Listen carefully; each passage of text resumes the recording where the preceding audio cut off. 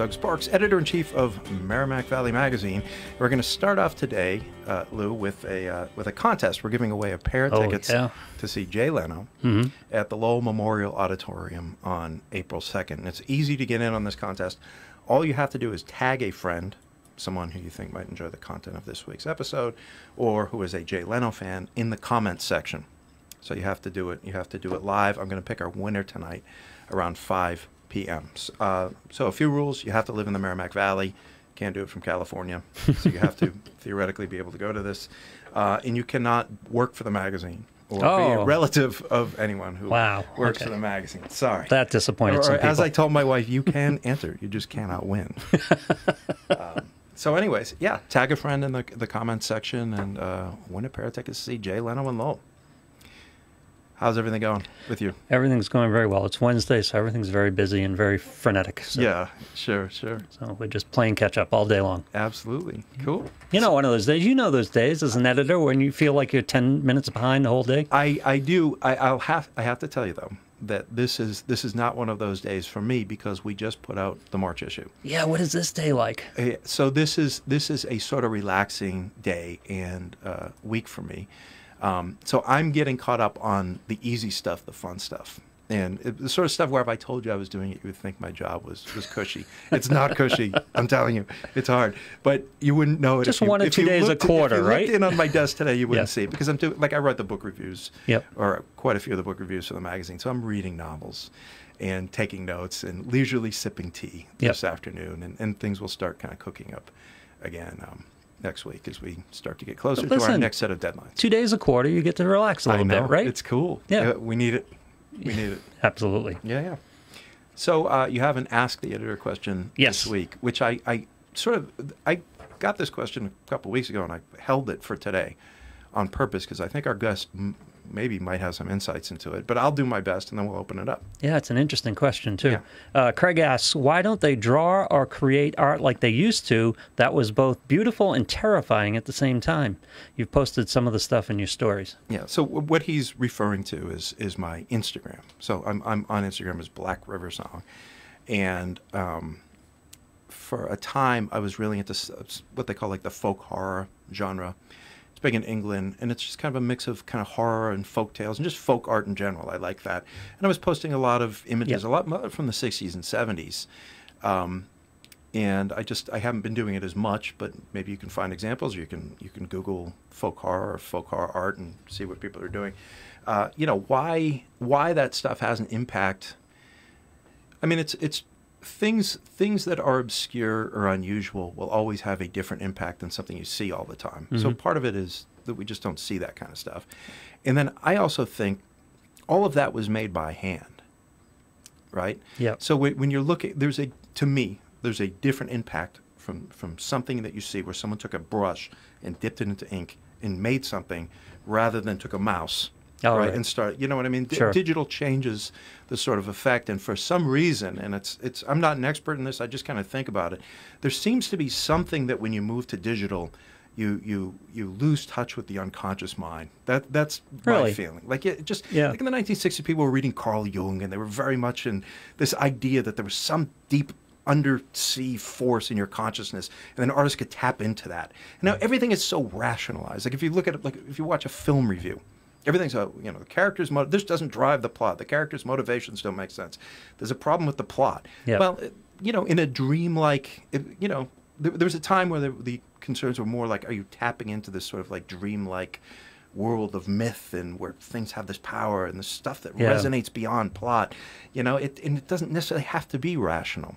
So in fact, sometimes the rationality can kind of kill the stuff that he's talking about, which is like the uncanny. What makes something strange or unusual, or have some sort of power that you can't just quite put into words? All right, so I was thinking visual when he said art. You're expanding that beyond to literary Well, works so and actually, well, what he's really specifically probably talking about is a lot of book covers, okay, yep. uh, book covers and, and illustrations for books.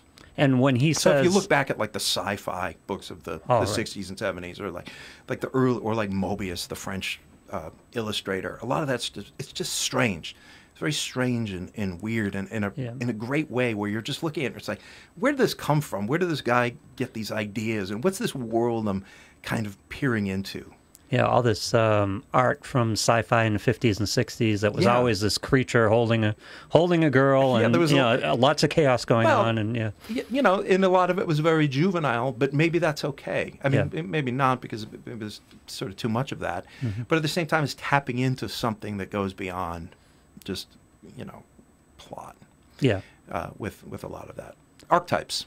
right. And um, that kind of art, movies, and even writing has become more everyday life. Mm. That's possibly gone awry as opposed to aliens landing. Yeah, or, yeah. yeah, Yeah, or giant creatures, Sure. that type of thing.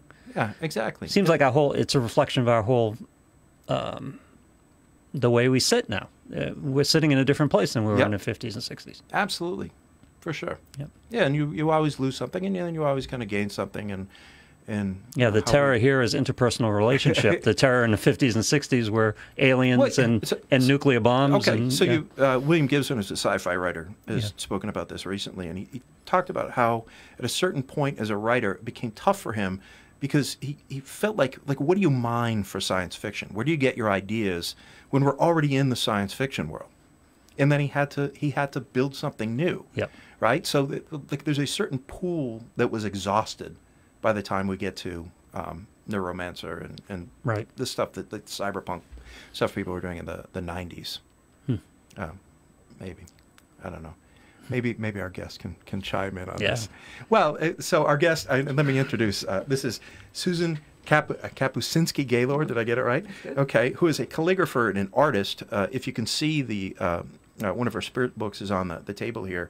Um, and she's written a memoir. I'm going to hold it up if you don't mind. And this is called Calligraphy How I Fell In, Out, and In Love Again. And the reason why I saved this question for you is because everything you're doing is like this is digital because it's a digital you know print but everything you're doing is with brushes and, and with your own hands Yes. is there a difference between something done digitally from your experience versus I mean, I've done some work digitally as well, and it seems to me that, um, well, it's really interesting to me because I did, the spirit books are something I've been making for a long time. I just, this is like number 93. okay I've just, I'm working on 101 now. okay long time meaning since the early So, 90s n- Early 90s, Okay. 1992 I started. okay But I did a whole series. I for a while there, I was doing things with photographs of taking from flowers and then extracting pieces and then doing kind of kaleidoscope things. And actually, I Hmm. brought something from there. I think maybe not. Nope. Yeah, here. So these are all digital images that I created from Ah. photographs. okay but the this But the lettering was the, done the by lettering hand. is done by hand, And but everything else was was created digitally. okay And is there a difference in the creative process do you feel Not really. And I remember thinking, being surprised at how connected I felt with nature, working on these on a screen with a photograph.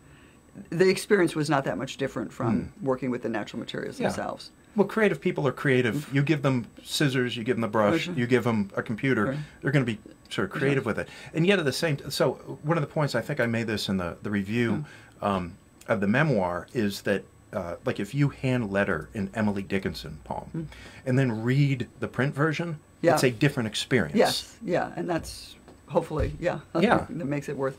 and there's a different you know like emotional something and there's there's also something in hand lettering where there's not i don't mean mistakes in a bad way but there's human elements. Right. right? There's cracks. There's mm-hmm. things that that a very almost like imperceptible sense of imbalance or something mm-hmm. that is a good thing right? Yeah. That- that's hard to get in in digital art Right. No, I, I agree. Well, the, the other thing, which I don't want to get off on this tangent because it's not someplace I may ever get, okay but I actually have done a little bit of exper- experimenting with VR, virtual reality. really And I've had a couple of experiences where I was lettering in space in this kind of virtual thing, and it was just the coolest thing. ah But I can't, it's, I can't do all the technology that's built around it. I don't know that I want to learn. So I'm not sure where to go with it. But it's something that I'm really interested in. It was just, it was just amazing to be Yeah, yeah. like sort of writing in the air. Yeah, so you embrace that. So when someone So, says, "Hey, the, the art used to be, you know, kind of better and have this like soul, and the soul's Right. kind of gone away," do you have that sense, or you're like, "No, full speed ahead into the future"? Yeah, I I think both. You know, I mean, I wouldn't want to take away one. I wouldn't want to live in a virtual world. Sure. But, um, but I think there's room room for it all. Yeah. So let's uh, let's start at the beginning. How did Yeah. you get into calligraphy? Uh, I had dabbled it with it in high school. Hmm. Uh, a friend of mine was did it in his art class. He gave me a couple of materials. I started to play with it. So it was something I did a little bit here and there. But I never really, when I was working on the book, it was interesting to kind of look back. And I I got rid of tons of work over the years, but I actually kept a surprising amount. Yeah. So I was able to look at old examples. But it, but then I really didn't understand anything about it. I just. Um, I just did it. You Right. know, I, I mean, I just copied pictures in books, and I didn't really understand the underlying. And then, in my late, I was in my late twenties. It was 1978. I was unemployed, and I was collecting unemployment. I was trying to figure out what to do with my life. And a friend from high school remembered I did it and asked me if I could letter something for a friend. Hmm. And I got out the materials I had. I started to do it, and then I just became completely hooked. Yeah. So. Um, what was the process like in the beginning? How did you learn? Uh, I learned from I can't. One of the things I thought of was I can't remember whether I intentionally didn't look for a class or I had looked and I didn't find one. But I ended up working on my own from books. Hmm. Uh, so I pretty. I, I don't like to say I taught myself because the books were my teachers. So Yeah. it's not like in a vacuum you just Right. do all this. But I didn't have somebody kind of guiding me or correcting me as Yeah. I worked. Uh, yeah, I think you mentioned in the memoir that that your discipline at this time, because you have to just write these letters over and over, Over and over over. again, Mhm. came from swimming. when I thought back, it was like I was a competitive swimmer. You just swim back and forth in the pool. You know, you do miles a day. Yeah, and, yeah. And it's there's a lot to that, and you're you're repeating a limited set of movements that you're doing over and over again, and trying to make adaptation adjustments, Yeah, yeah. corrections. So I think there's similarity. And when I was when I was teaching it, um, I used to say that it, it was a lot more like learning how to play an instrument.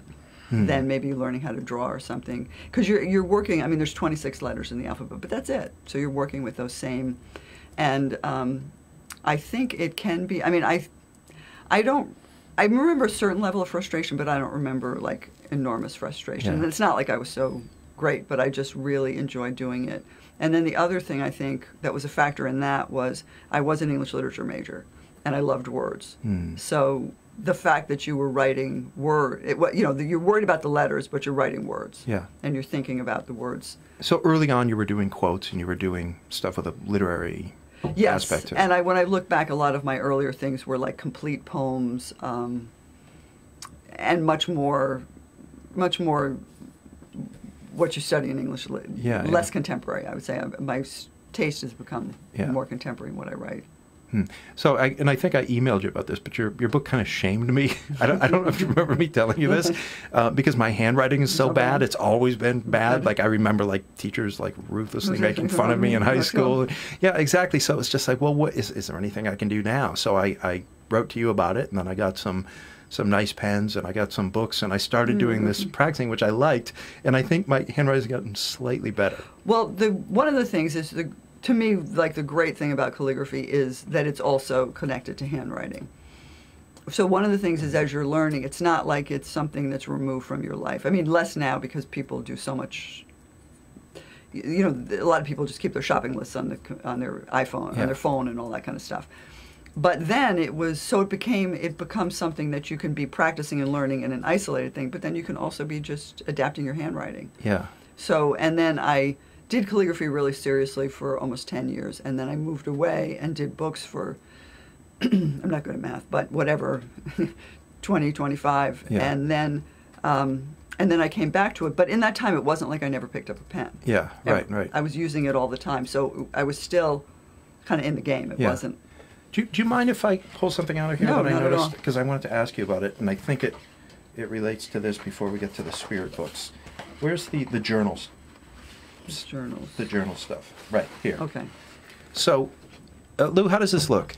Looks great. Can you see this? Yeah. Okay. So, for people who don't know what this is and maybe are just listening, what what am I holding up here? You're holding up a piece from a series I did that was called Childbirth Journey. So I had been doing quotes of other people. I had been interpreting other people's. Yeah. And when work. was this about? This was 1986. Okay. So in 1985, uh, and, and it was a time when I was really, I don't know that I had the words quite for it. This was sort of in the process of the beginning of falling out of love with calligraphy. Hmm. And part of it was that I didn't want to, I was interpreting the words of other people, and I tried to do kind of enhance the viewer's experience of those words, but they were definitely somebody else's words. And I think I was getting restless that I really wanted to do something that was completely mine. So this just happened to come along. I mean, I didn't do this intentionally. Say, oh, I've got to do something of mine. I'm Yeah. going to do this. But I, um, so 1985, my mother died suddenly in January, and my first child was born in June. So it was like a really difficult time and really tumultuous. And then I had kept kind of a journal through haphazardly. I mean, not an everyday thing, but I'd written things through my pregnancy, um, written stuff about it after the birth, which was a cesarean, which was not m- my plan. And I was not happy. Um, and then afterwards. So this is part of that series. So then I did abstract pastel drawings to go with the text and calligraphy. And this is actually what led me away. So I did an exhibit at um, at the Newburyport Art Association. Had all 15 pieces. They were framed. They were decent size on the wall. When I brought them home, I didn't want to just hang them on the wall because they just weren't the kind of thing you wanted to look at every day. It was great mm-hmm. to go to the exhibit. You kind of experience it, but then you don't want. It's not. It's just not like a painting you put on the Right. wall. So that was what led me to start looking for a more intimate format for the work if I was going to be this personal. And that led me into the book, handmade mm-hmm. book, which then eventually left words behind. Yeah. So, uh, so tell us about these books. You can see an example Mm-hmm. here on the on the table.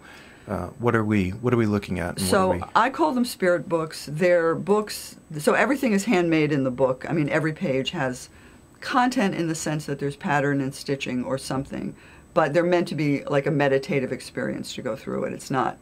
There's no narrative. There's no beginning or end. And they started from, and that had started actually in 19. It started when we did a massive pruning at our house, and I had all of these sticks and branches and vines and things. And I just felt Why did you have those things? because we had pruned everything. Oh, oh, so- Yeah, okay, I'm literally like- Like, you literally were pruning. I literally was Okay, pruning, all and right. then we ended up with like a ten foot high mountain in our, mm. and we had to cut them up and to get rid of them, and I started to feel just this kind of sense of and some kind of inner life to them, and so I brought a whole lot of it to the studio, and then it took me four years of experimenting with different kinds of things. And I had already been making books, but it never sort of dawned on me to put them together. And then one day I just did it. And um, then I knew it was something that I wanted to do a continuous. So right away I kind of gave it a name and a number and put it Right. part of, of a series. Were you studying different sort of printmaking traditions, or did this all come organically from the materials? It came pretty organically from the materials. Um, yeah, it, I think it came. It, it just sort of came, and that's been that was kind of a real turning point for me in my my work in general because I got to think that I really like working this way. I really like working where I don't have a plan, I don't have a sketch, that it just happens. So I've tried to, since I've come back to calligraphy, I've tried to keep that same approach. Okay. Um, Yeah, because you see, I, and for I just want to make the point, maybe visually, we'd start off something more like this. Yeah. This is from Song of Solomon, and then you get into the journals yeah. with some pastel and yeah. color and starting to move into some type of abstraction, and now the words fall away with the spirit right. books. Yeah. which is, for someone who, who starts the journey with words as the primary Mhm. focus to you know to completely move away Right. like what was it what was you Well, were you aware of this happening were It took like a while, and I will say I just have a thing um, here somewhere. Do I have it here? No, maybe I don't have it. Anyway, I did. I so I moved away. I started to do a lot with a photocopier. Hmm. I don't think it's here. Um, these are these images are in the book Yes, I know what everything you're is in talking the about book. The book- Okay. yeah if you uh, just so you can take the book has 277 images. there's a lot of images and a Lot. lot of color images here so you can see what we're talking about at all different Mm-hmm. stages of this these are what you're talking about right here right with the the photocopy Uh, no? well, the, the, No, yeah, well, yes, I did these. So I did the when I did the childbirth journey large in color. Then I did a smaller version in black and white. But all of this is just developed from putting things on a photocopier, copying them, and then Wow. and then printing them. But one Yeah. of the pieces actually with the book, and this is was kind of the, a real turning point. So I thought I had a picture, but this this you can't see too much of it here. But this is a book with just some imagery on it, Hmm. Okay. and I wrote on the back. So this was, it had it's the pictures were combinations of lips from um, Buddha from Angkor Wat, and I, ha- I was leasing a photocopier. My son and I made an alphabet book. I put my ear on the. We put our ears on the photocopier so we could for the letter E, and then I found out that I had gray hair. um, and then I was so, and and this was like maybe two or three years after my mother had died. I was, I was doing a lot of thinking about meaning of life, life and death, all that kind of thing. So, I kind of viewed it as the gray hair is a symbol of sort of aging and f- the finiteness of life. The Buddha may be more a, a thing of the eternal life, but yet this is from an old statue that's kind of coming apart, Yeah. and that there is a sense of the eternal in everything. Right. So I wrote on the back of it, I wrote a text related to that. And then a friend of mine who was a poet came over, looked at it, and said, I could just look at this for a long time. I can see a lot. This is, there's a lot of, you know, the page, I can just see a lot in here. And I thought, why am I telling what to think? And so that I think was the critical break-off point where I was like, if I'm moving into this other thing where I'm working with materials and if if this is based on like the art of it and the image of it, then I shouldn't be explaining it. I should part of it is a is a bit of a crutch. I mean, it's like here's to this, but I'm going to explain it for you just so you make sure you get Right, it. right. right. But it's like no, I can let that go and let it stand on its own. Mm-hmm. And then the spirit books came not exactly right, but I mean they it led into that and by that time I was ready to say you don't need words. Yeah. How did the spirit books themselves evolve over time? Well, they're they're fairly similar. Well, one of the things is that I kept a lot of them with me for a long time. So if I came up with so originally they originally they only had just like a flat piece that they rested on, and then I decided originally I don't even think they had a base at all. Okay. Then I decided they should have a base, so then I made flat bases. So you made these bases? Yes. Mm. So then I decided. So then I did another piece separate to it, and I did something where I had a raised base, and I thought, well, that really is a good thing. That kind of elevates them, and I do think of them with a certain level, some some kind of sacredness. So that kind of make, gives them like an altar for them. So then I went back, and anything I already had, I remade the base for, and then I kept on doing that in the future. So. Um, so I kind of go back. I look at them as so I've gone. So they all, I think, I like to think the new ones are the newer ones are maybe a little better than the old ones. But there's really not that much progression because I keep I will go back and rework something to bring Okay. it. So they're kind of think of them all as a as a unit Yeah. in a way, even though they get dispersed. Right. I like to think of them as Sure. compa- all compatible with each Hmm. other.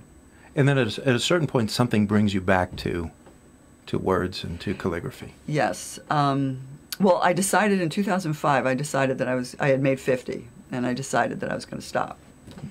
I don't know.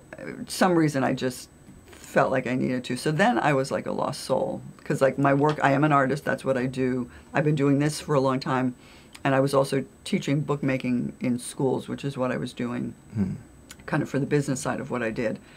what sort of schools would you be? I go to elementary schools, Okay. just all over. Oh, okay. So just like public schools, mostly public schools. Oh.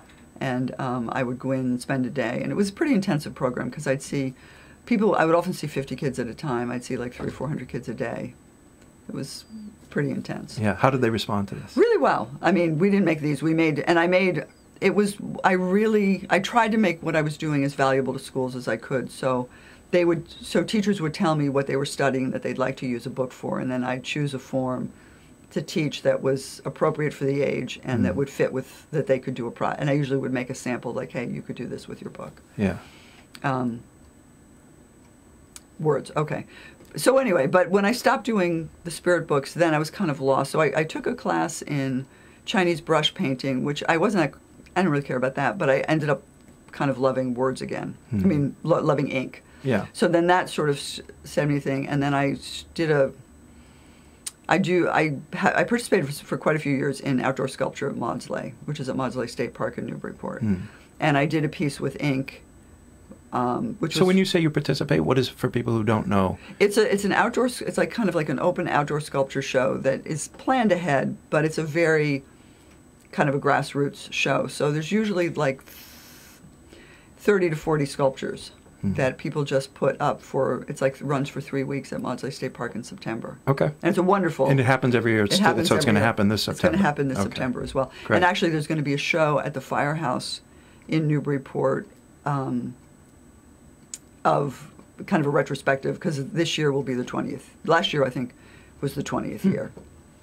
Very cool. So anyway, so that led me, and then I wanted to take part in it, but I didn't have any ideas, and so I thought, well, I like words. You know, I could go back to something that I was comfortable with. So I did some some pieces there, and then that just led me to kind of get more interested in words. Yeah. And then I feel like part of it now, in the last several years, has been that I. I think the spirit books have a lot to say for where we are today in terms of connecting with nature, but it does feel a little bit apart from kind of the political discourse. And I feel like words are something that are kind of touchstones for me. Like there's something that I kind of need. Sure. Uh, so I think that that's part of the reason that like that I've words have been more important. And actually, I have. Well, there's some other things we can. Yeah. Well, this is a series that I did. This was an exhibit that I did in in Connecticut, Hmm.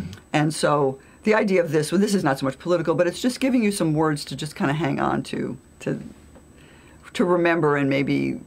You know, when you're having a really crappy day, Yeah. to just say, "Oh, I could think about it this way," or Sure. um, but this is one. So one of the things is I, I kind of have this thing that I'd like to take up more space. Yeah. So these are these are four and a half feet wide by six and a half feet long, and these I did I lettered kind of with an audience. So I had everything set up, the paper set up, but I went to the gallery and I would I like lettered it and then we hung it up and then I lettered it and hung mm-hmm. it up. So it was kind of a spontaneously I wasn't spontaneous in the fact that I actually practiced. Like so for this is an example, like I didn't do a sketch for this. I never worked smaller, but I did practice. So I would have long less quality paper, but I was I practiced each one of these multiple Yeah. times. And so for people who are just listening, there's there's the giant sheets of paper with with small quotes. Hmm. There's one from Eudora Welty, and there's one from Whittier and who's that? Kerouac. Kerouac.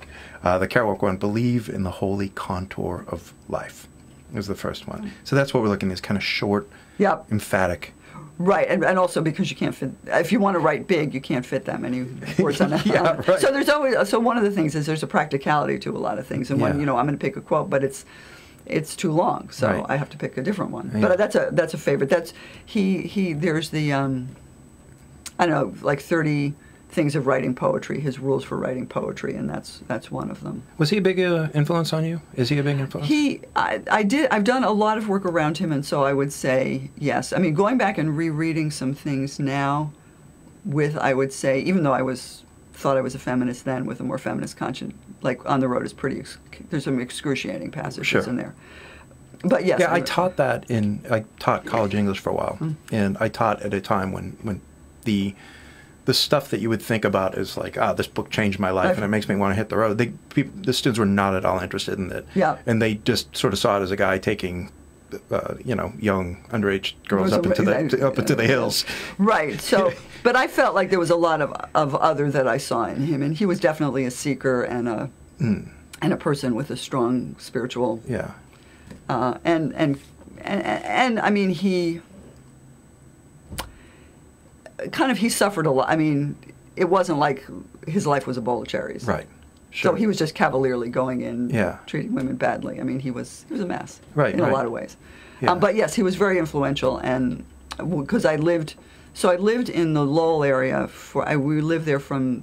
So I started doing the calligraphy in '78. I was living in North Billerica, just outside of Lowell, and I um, we moved to Newburyport in 1985. So I was Are you in Newburyport now? Yes. Okay. So I really kind of, I did a lot, really kind of connected with Kerouac then, and a, lot more of the reading that I did, um, I had read on the road before, but I but I was more interested in his Lowell work, Hmm. which is just it's pretty amazing that how, you know, there aren't that many towns and cities that get that kind of attention paid to them by writers. Right, right.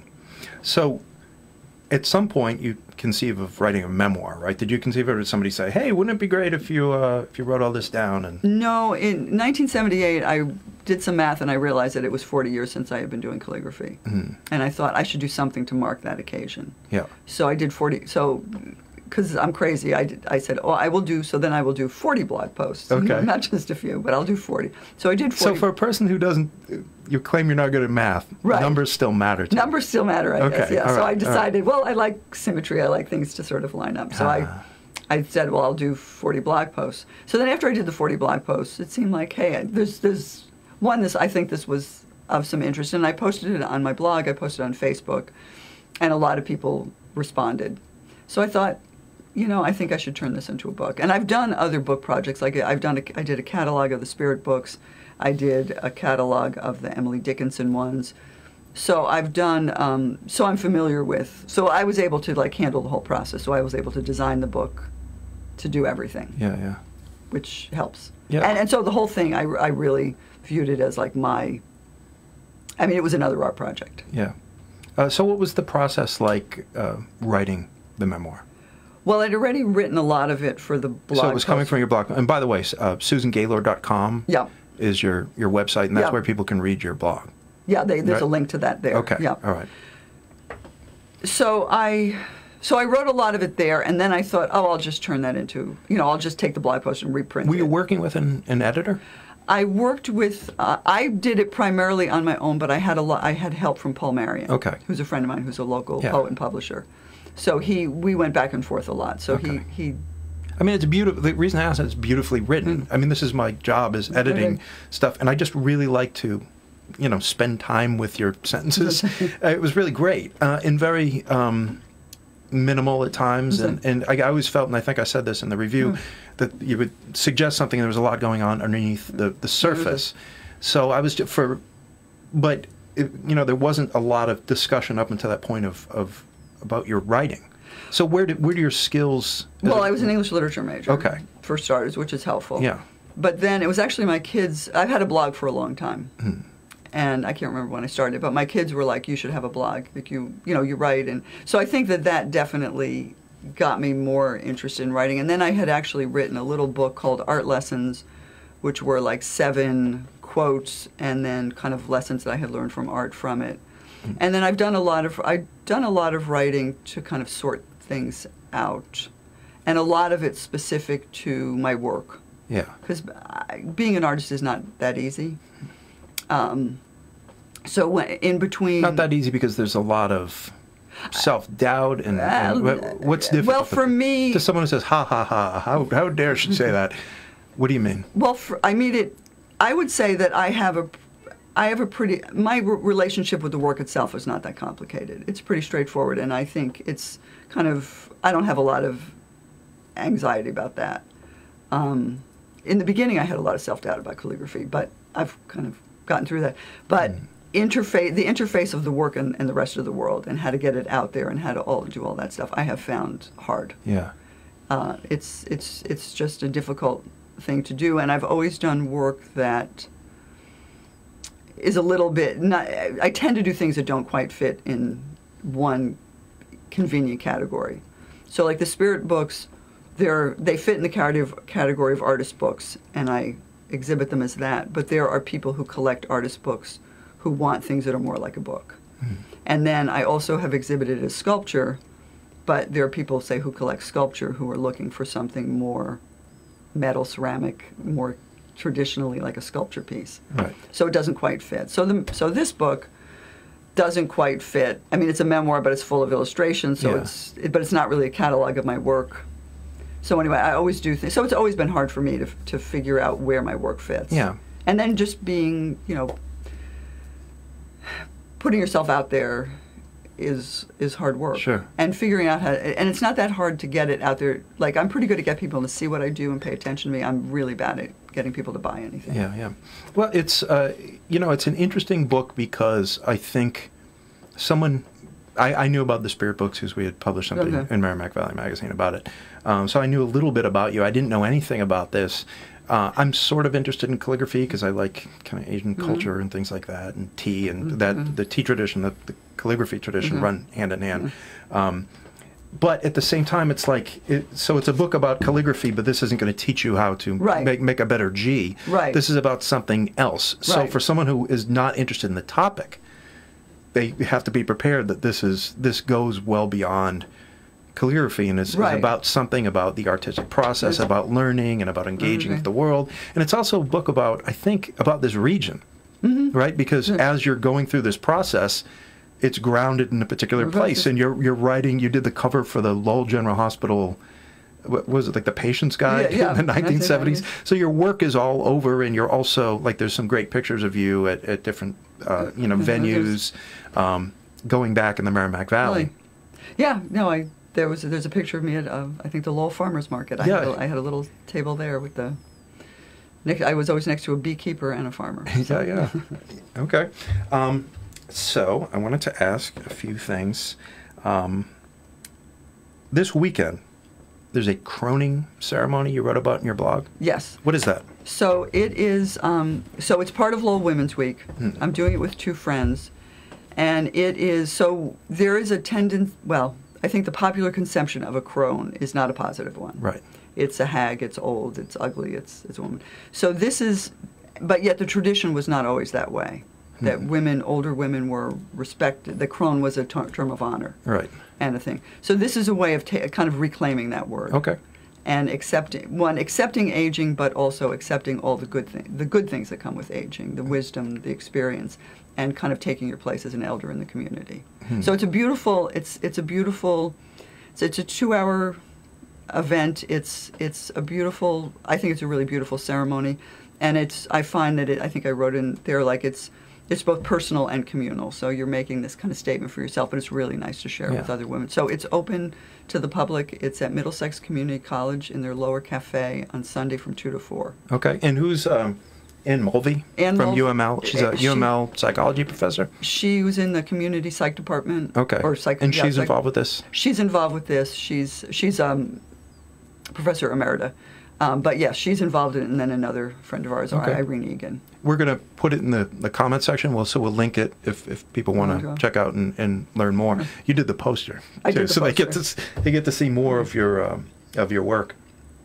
Um, And then I could just put in play for Lowell Women's Week. Tomorrow, I'm Okay, going to be giving a, a talk at um, the Lowell, the UMass the Center for Women in Work, and it's uh, how an English literature major became an artist. So it's a lot of what we've talked about here, but these, as a matter of fact, these images that I've been holding up, we've been holding up, are ones that I did for that talk. yeah.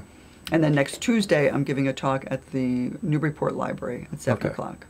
Yeah, and, and just in case people are driving, a easy way to find this out, we're going to put it in the comments Mm-hmm. section. And also, we added this information into the article on you, or into the review Mm. of this. Yeah. Uh, so if you look at the digital version, if you look at our website and look up the calligraphy review, just search for calligraphy, you'll see all the upcoming, because there's more than that too, right? Don't you have Yeah, something? and then I have you something- something in April? I have something in April, April 9th.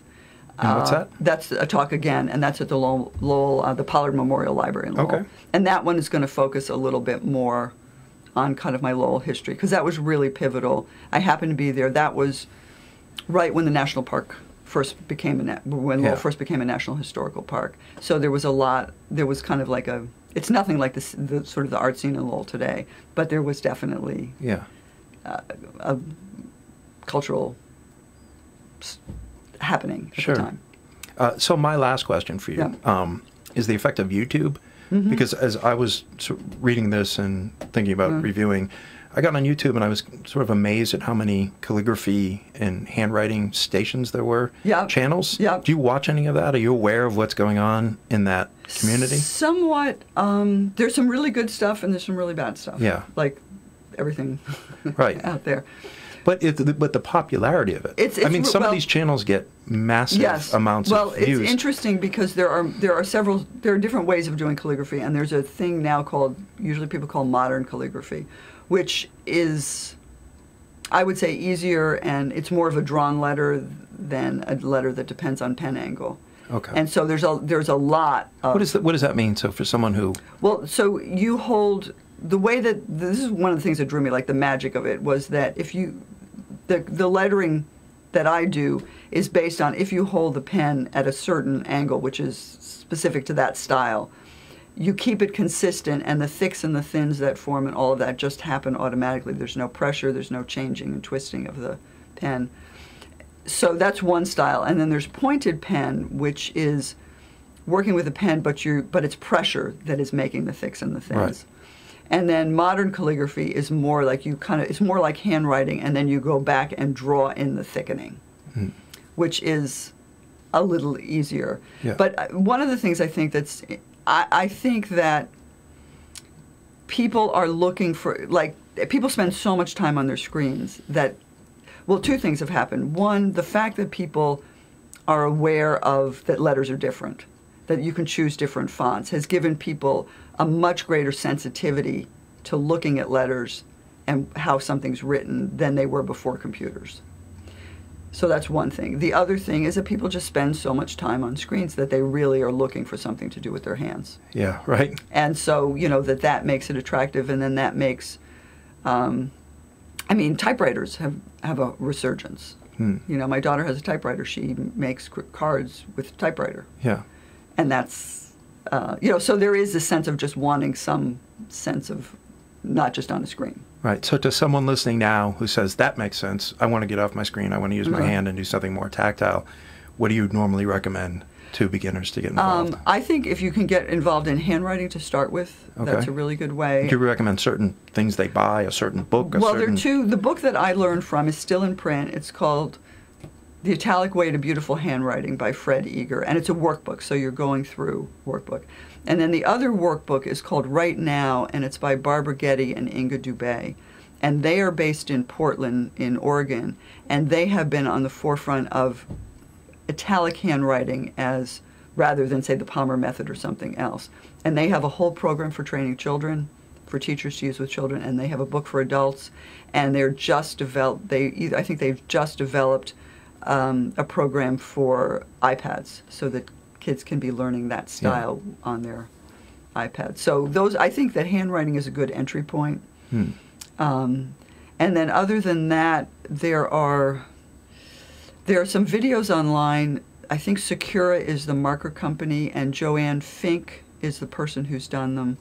Um, Reggie Ezell, E Z E L L has a, so some of the people have ones that you they have a little bit of information for you, and then you then they have a paywall to get to more in depth Right. thing. But there's some real there is some good stuff out there. Hmm. And if you want to play around, I mean, if you want to do, you know, sort of my approach, then that is the broad, broad edge pen. But if you want other things, you can look. But um, What's the cost? Like if someone, a 18 year old person says, I, I'm kind of broke, how much would it cost to, to get into this and start, start work? 20 bucks. 20 bucks. If- Okay. or less. So the pens are not, They're- you don't have to buy the fanciest. You know, and so I mean, you can do a fountain pen. I, I actually have started. I thought I wouldn't wouldn't do this, but a lot of people have asked me about calligraphy and said they're interested since I, Yeah. I, since they've read the book.